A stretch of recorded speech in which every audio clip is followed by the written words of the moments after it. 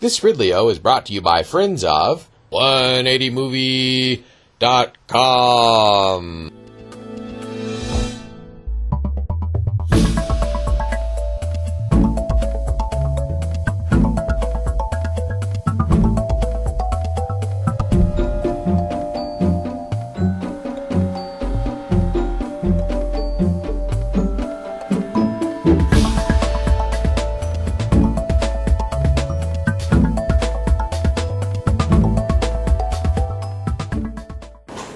Uh, Ms. Bauer, I have a question for you. Yes. A while back, one of your police officers um, tried to stop me from recording him in public. Uh, when, if ever, is it appropriate for a Milford police officer to try and stop a reporter from recording in public?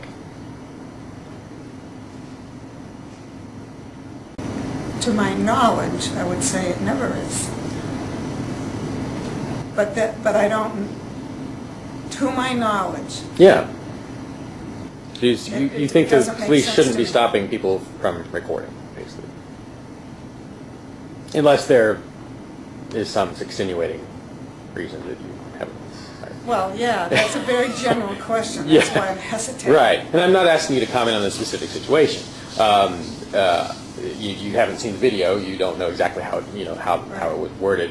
Um, but, you know, the right to record is uh, becoming more and more important as YouTube, YouTube gets bigger and more and more people are recording police. And um, I was curious to where you stood, and you told me. I appreciate it. Yes. Is that, can you turn that off so I can add something? no, I, I, I won't do that. if you don't, if you don't want it on the record, don't my- tell me. It's been my experience through committee work and board work Yeah, that it's absolutely allowable. We can have a- any kind of a meeting except a non-public, yeah, and anyone can come in and listen. Listen, not necessarily participate. yeah. That's the way I understand it. Okay. Yeah, this situation was not here. It was actually at outside Milford District Court, but it was a Milford police officer. It wasn't a statey, uh, and he. Uh, it was just. It was just basically me and him.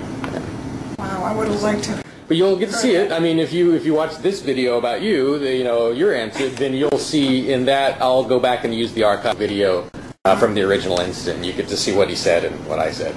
I don't remember the exact words. You know. right. so. So why are you asking me? Oh, because you're a selectman. You're in charge of the police ultimately. Um, now, if the Yeah, police chief. four other people. Um, Yeah, if the police chief had walked by, I would have asked him too. But it's it's all logistics for me. You happen to be the person in the right place to ask. I remembered your name, and so I asked you. So, Okay. some of it's kind of random. Okay. But I appreciate your time and transparency. Okay. Fairly nice bunch for a for a for a board of selectmen. We have a so, group. Okay. Yes. All right. Well, thanks so much. You're welcome. You take care.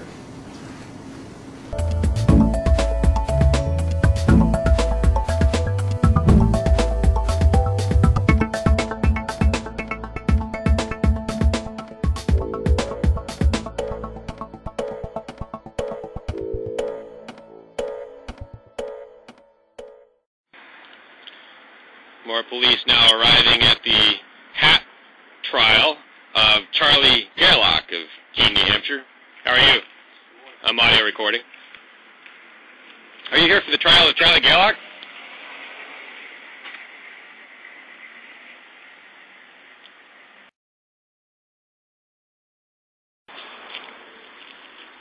I am now audio recording. If you want to be audio recorded, come over to me. No, sir, I do not wish to be audio recorded. Trying to go far away from you so I can't hear you. But I will not turn off the camera.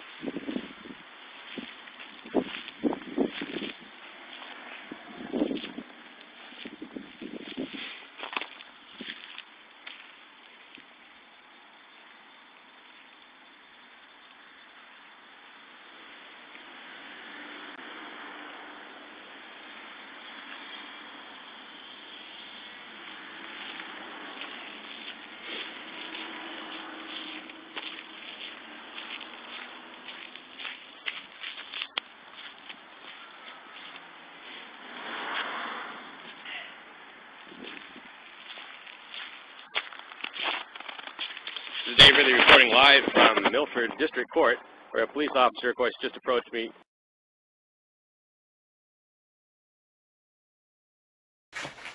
Eins, zwei, über, sehr gut. Under ein Deutschland, ich bin ein. If you don't have any idea who I'm imitating, you're probably pretty ignorant. But turns out, a bunch of Americans are pretty ignorant. Imagine that. You can learn more about this phenomenon, the Hitler forgetting phenomenon, by visiting 180movie.com. Free Film.